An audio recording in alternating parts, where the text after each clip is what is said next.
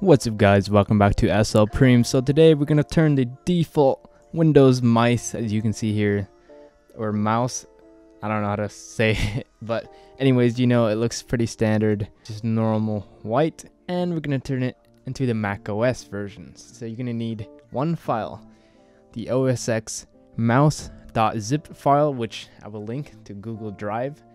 So basically, click on the link in the description and go ahead, go to it then click the download button up here.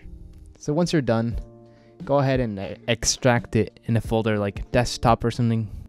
So you just click extract files here. Then boom, you have the folder. Next up is double click in the folder. Go ahead and go to install.inf as you can see here. Click on this. Okay, don't double click click right click and then click install.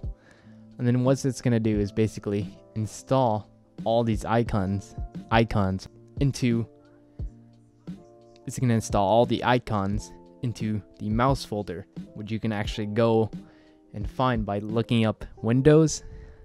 So open up the settings, then look up mouse.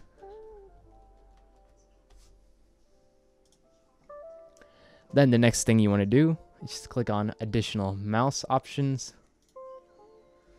Now you should get a dialog box like this. Then go to pointers and then you can see scheme or scheme. I don't know how to say it. I think it's scheme, like color scheme.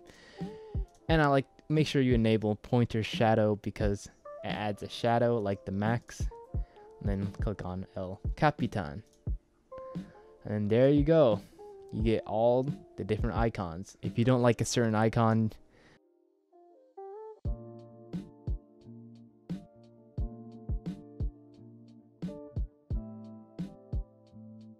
Okay, and that's it guys. Just click on apply. And then there you go. got the OS X mouse. Now let me show you it works by opening up program. As you can see, the spinning wheel and let me open up Chrome like when you grab things. As you can see there's a new icon for grabbing things. Same with resizing windows. There's a brand new icon for that too. Same with diagonal. But yeah it's pretty nice and I like it a lot. Way better than the standard Windows mouse. But anyways that's it. Hope you guys subscribe to the channel and peace out